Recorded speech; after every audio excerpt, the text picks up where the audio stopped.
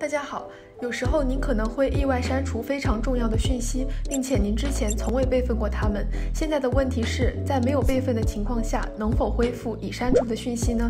答案是当然可以。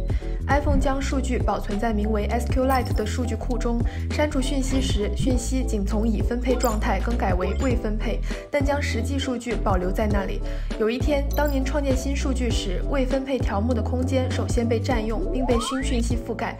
接下来，在此视频中，我将向您展示如何无需备份即可恢复已删除的讯息。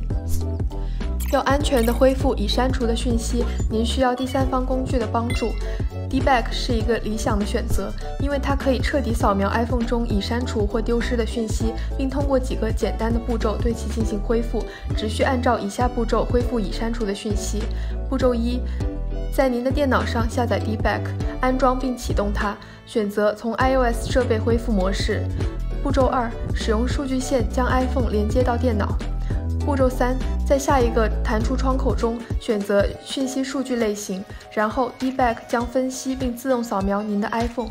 此过程可能需要一些时间，取决于电脑的性能和 iPhone 的存储空间大小。步骤四，扫描完成后，所有讯息将按顺序显示在荧幕上，并且已删除的讯息标记有红色的删除图标。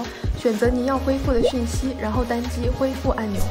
借助 iMyPhone Dback，无需备份即可快速轻松地恢复已删除的讯息。此外，它还可以恢复 iPhone 上的其他数据类型，无论什么型号的 iOS 版本的 iPhone。如果您对数据恢复有任何疑问，请在下面留下您的评论，我们将尽力为您提供帮助。如果您喜欢我们的视频，请给我们点个赞，感谢您的支持，我们下次见。